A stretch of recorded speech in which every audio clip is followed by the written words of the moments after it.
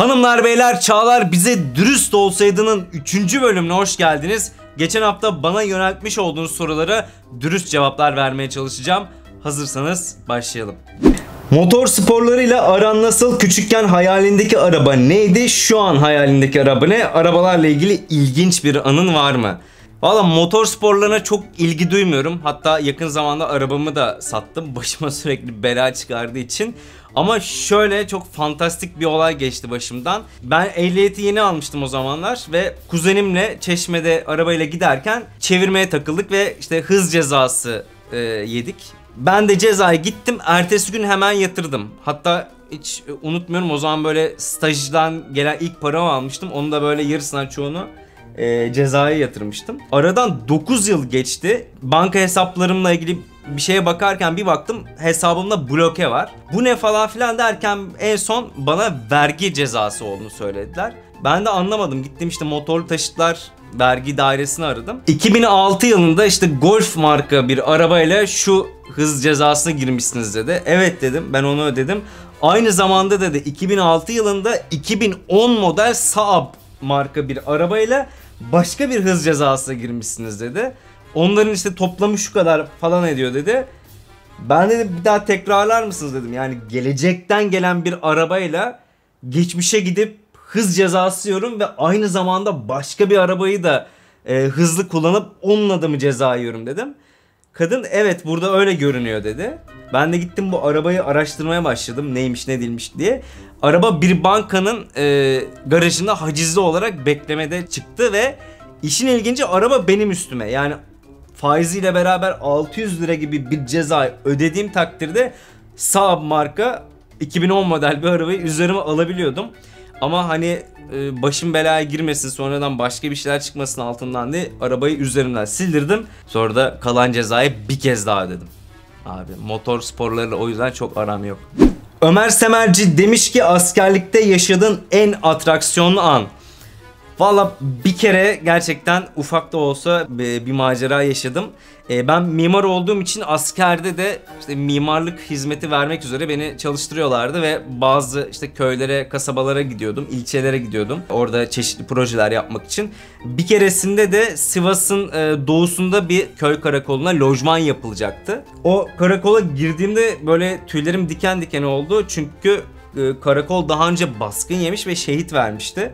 E, ben de orada işte bir hafta 10 gün e, kalıp e, çalışmam gerekiyordu. Böyle onları görünce insanlar e, şey dedi bana hani merak etme bu çok uzun zaman önce oldu artık burada böyle şeyler olmuyor. Ama şöyle bir sorunum vardı. Ben oraya gittiğimden bir önceki gün zehirlenmişim yediğim bir şeyden dolayı ve e, bağırsak enfeksiyonu geçirmişim. Yani midem gerçekten çok kötü durumda ve tuvaletten çıkamıyorum. Yine bir gece tam artık hastalığım düzelmeye başlamış ama gerçekten yine çok kötüyüm saat 4-4.30 civarı böyle sabaha karşı yani içimdeki her şeyi boşaltmışım artık kendime gelmişim ve tam yatağa dönüyorum ve artık uyuyacağım. Başımı yatağa koydum böyle gözümü kapattım ve iki el silah sesi geldi dışarıdan. İnanamazsınız böyle iki dakika içerisinde işte üzerimizi giydik silahlarımızı aldık hemen mevzilere koştuk orada siperler oluyor oraya yattık zaten. Ben bir yandan ne olduğunu anlamıyorum. Bir yandan da deli gibi tırsıyorum ama hani hasta olduğum için yani korkudan altıma sıçamıyorum. Yani o hale gelmişim. Sapsarıyım zaten iyice sapsarı oldum. Ve işte bir süre bekledikten sonra e, ortalık duruldu ve biz de e, yataklarımıza geri döndük. Zaten çok kısa bir süre sonra gün ağardı ve içtimai geçtik. Öyle de küçük ama atraksiyonlu bir askerlik anım var. Boş yapan adam diyor ki en ağır linç yediğin video. Tabii ki de Apple mı döver Samsung mu videosu da bayağı bir linç yemiştim. Hani insanlar anlayamadığım bir sebepten dolayı böyle marka seviciliklerinden ötürü bana karşı işte Apple'ı e, birinci yaptığım için orada hakaretler etmeye başlamışlardı. Bakın böyle markalar babanızın ürünleri değil. Bunlar sizi de düşündükleri için bir şeyler yapmıyorlar. Bunlar ticari kuruluşlar. Bunların artıları var, eksileri var ve herkes bir şeyi kendince beğenir ya da beğenmeyebilir. Kendince bazı özellikleri kendi avantaj görürken sizin daha iyi bulduğunuz şeyleri çok da hayatında önem arz etmeyebilir. Ben sonuçta o videoyu biraz da insanları trollemek için yaptım. Yarı yarıya hem alay ediyordum hem de gerçek fikirlerimi söylüyordum. Ama sonuç olarak böyle hem eğlenelim hem de bir tartışma ortamı açılsın diye bir video çektim. O yüzden hani markalar konusunda, dinler konusunda, takımlar konusunda lütfen fanatikliğe varan e, durumlara gitmeyin. Bunlar yüzünden de insanlara e, kötü davranmayın, hakaret etmeyin. İlk telefonun neydi? İlk telefonum şu tarz böyle bir Ericsson marka telefondu. Bu model değildi. Tam model ismini hatırlamıyorum ama buna çok benziyordu. Ee, anneannemin telefonuydu. Bana vermişti kullanmam için. Sonra da bende kalmıştı. Ama ilk e, harçlığımı biriktirip kendi paramla aldığım telefon Nokia'nın 3310'dur. Gerçekten efsaneler efsanesi bir telefondu. Abi vejetaryen mısın yoksa lezbiyen mi? Sevgili Adolf Hitler vejetaryen olup et yememektense lezbiyen olmayı her zaman tercih ederim. En azından onun da sonu kadınlara çıkıyor. Donald Trump demiş ki dolardan memnun musun? Yani dolar iyi arada inip çıkıyor ama bence asıl olay soğan. Yani paranızı bugünden soğana yatırın. Soğan çok değerlenecek. Soğandan şaşmayın abi. Yaptığın içerikler arasında hiç sevmediğin bir içeriği kanala atayım zaten izlenir ya da o kadar emek verdim atayım kanala dediğin oldu mu? Öyle bir video var. O da benim bir noktada patlamama ve birçok kişinin kanalı takip etmesine sebep olan Apple bize dürüst olsaydı videosu. O videoyu 3 kez çektim ve sizin izlediğiniz 3. versiyonu. Ee, bunun nedeni de yeni bir eve taşınmıştık ve yeni bir kamera almıştım aynı süreçte ve evdeki yeşil perdeyi aydınlatmayı başaramıyordum bir türlü çok dar bir ortamdı bir de yeni kamerayı kullanmayı bilmiyordum. Tecrübesizdim. Programda da çözemeyince bu durumu sürekli yeşil ekranda böyle sıkıntılar olmaya başladı. Zaten fark etmişsinizdir. O kadar uğraştıktan sonra düşündüm ki ya yollayayım kanala gitsin yayınlayayım. Bir sonrakinde hani bundan tecrübe edip daha iyisini yapmış olurum dedim. Ve bir sabah kalktım 20 bin izlenmiş. Böyle şok oldum. Çünkü o zaman kanalım hani 4000 kişi falandı. Gerçekten de muazzam bir şeydi. Hiç pavyona gittin mi? Gittiysen ne yaptın? Pavyona değil ama Kıbrıs'tayken night club'a gitmiştim. Aslında o da pavyonun çok benzeri bir e, eğlence anlayışı. Biz ailece Kıbrıs'ta bir seyahate gitmiştik. E, ben de o night club'larını çok merak ediyordum. Babamın bir gün böyle bacağına yapışıp dedim ne olur bana söz verdin beni night club'a götür dedim. Babam da peki tamam dedi başından sağ olsun diye. Gittik anneme 100 dolarlık e, oyun fişi verdik oyalansın diye. Biz o sırada işimiz var geleceğiz falan diye sıvıştık. Taksiye bindik. Taksiciye dedik ya bizi işte bir tane night club'a götür.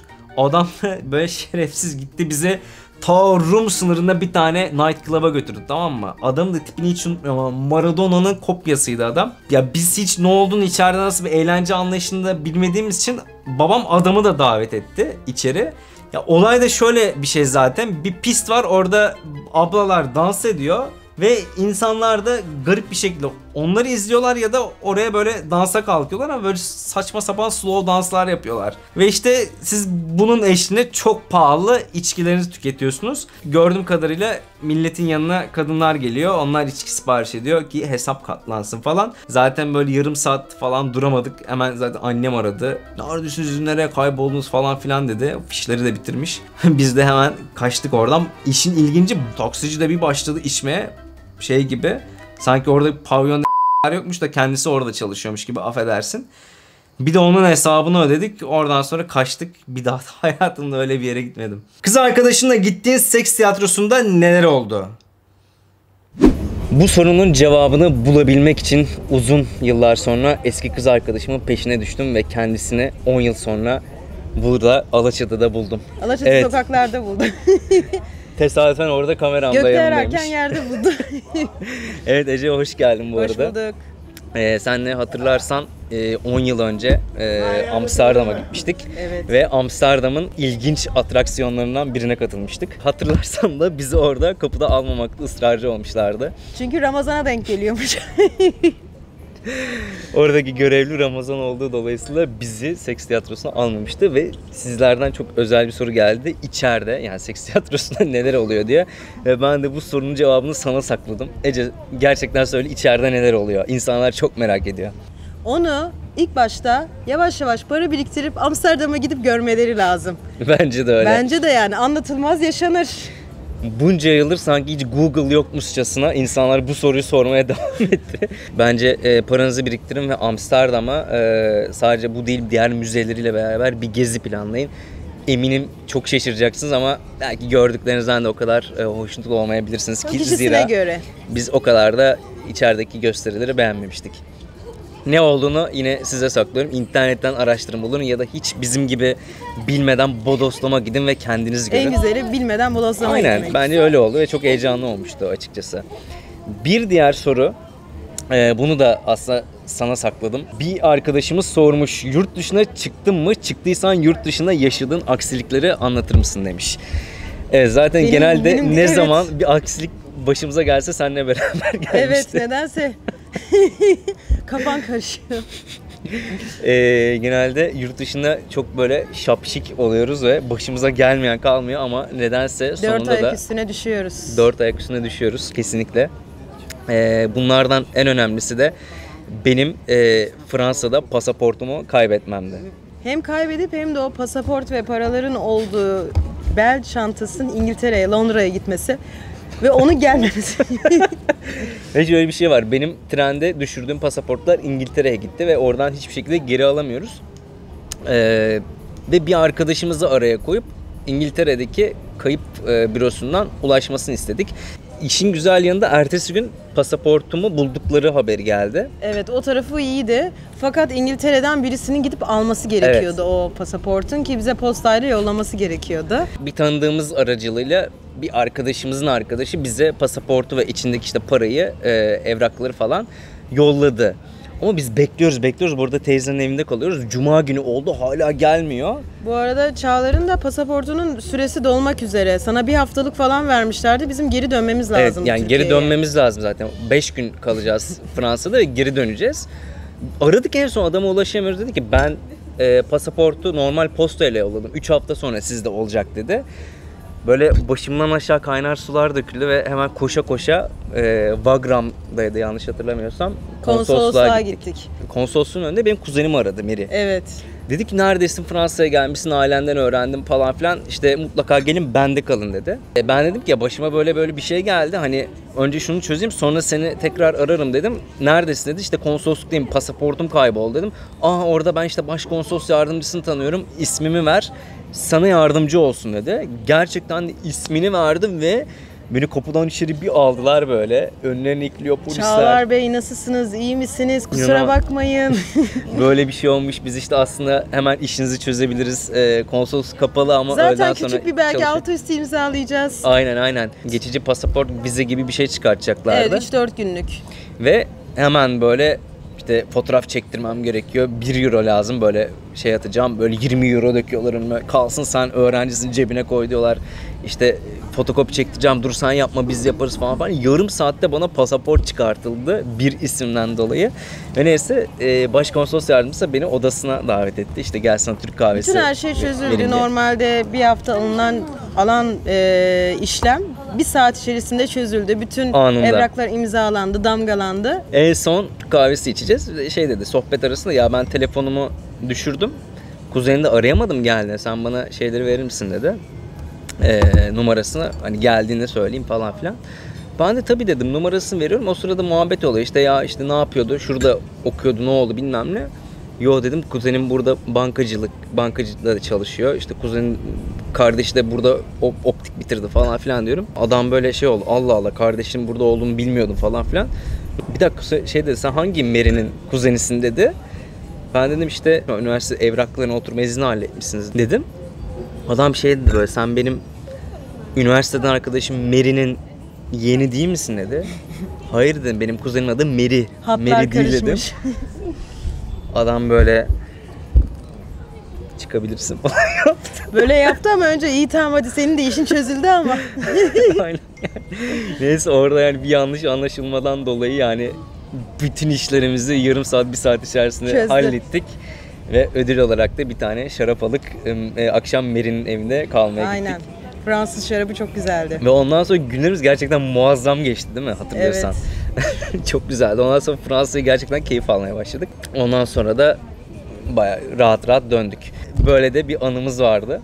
Bunda illa seninle olduğumuzda cevaplamak istedim. Geldiğin için de çok teşekkür Ben ederim. teşekkür ederim. Bu arada e, kim diye merak ediyorsanız tanımayanlar için e, Ece Ekran kendisi e, çok ünlü bir DJ. Seni herhalde Instagram'dan takip edebilirler değil mi? Evet. Ece Ekran diye yazıyorlar. Kliplerimizi de izleyebilirler. Aa, Hatta evet. sen çektin. Evet, evet biz bir tane beraber e, bir klip çektik. E, Daha doğrusu ben görüntülerini çekip e, kurgu yönetmenliğini yaptım. E, Ece'nin bir tane klibini yaptık e, İngilizce olarak. Onu da link bırakacağım aşağıya. Oradan izleyebilirsiniz. Çok da ilginç, deneysel, tatlı bir şey oldu aslında. Evet. Yani ilk deneyimizde. Hani Ki daha da güzelleri olacak. evet evet daha da güzellerini beraber yapacağız. Geldiğin için teşekkür ederim. Ben teşekkür ederim. Artık 10 yıl sonra mı görüşüyoruz? bir daha böyle istek olursa başka bir videoda denk geliriz. Görüşmek üzere. Eyvallah. Bay bay. Bay bay. Evet soruların hepsi bu kadardı. İzlediğiniz için teşekkür ederim. Bir sonraki videonun sorularını da bu videonun altında yorumlar kısmına ekleyebilirsiniz. Orada sorularınızı sorabilirsiniz. Ayrıca bana özel olarak ulaşmak isterseniz veya özel hayatımı didiklemek isterseniz de Instagram hesabımı takip edin. Ayrıca bu kanala destek olmak ve bağışta bulunmak isterseniz de Patreon üzerinden abone olabilirsiniz. Bundan sonraki videolarda bir sürprizim olarak da e, Patreon üyeleri soru cevap videolarında öncelik sahibi olacaklar ve bundan sonraki içerikleri belirleyebilecekler. Evet kendinize iyi bakın. Bir sonraki videoda görüşene kadar hoşçakalın.